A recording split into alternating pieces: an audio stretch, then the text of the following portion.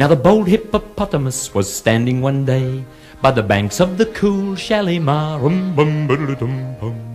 He gazed at the bottom as it peacefully lay by the light of the evening star, while high on a hilltop sat combing her hair his fair hippopotami maid.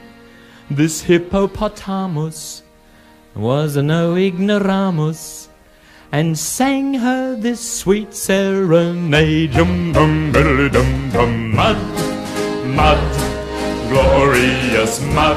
There's nothing quite like it for cooling the blood. So follow me, follow down to the hollow, and there let us wallow in glorious mud. Bum, dum, dum. bum. Now the fair hippopotama he meant to entice from her seat on the hilltop above. As she had not got a ma to give her advice, she came tiptoeing down to her love. Whoop, whoop, like thunder, the forest tree echoed the sound of the song that they sang as they met.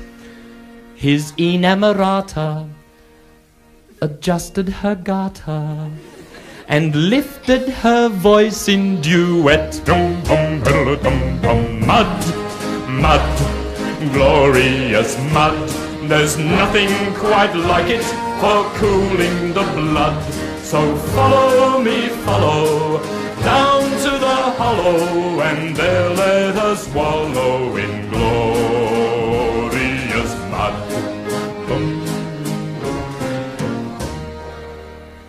Then more hippopotami began to convene by the banks of that river so wide. Now, I wonder what am I to say of the scene that ensued by the Shalimar's side. They dived all at once with an ear-splitting splosh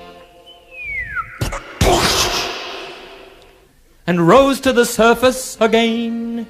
A regular army of hippopotami, all chanting this haunting refrain. Bum dum dum bum mud, mud, glorious mud. There's nothing quite like it for cooling the blood. So follow me, follow down to the hollow, and there let us wallow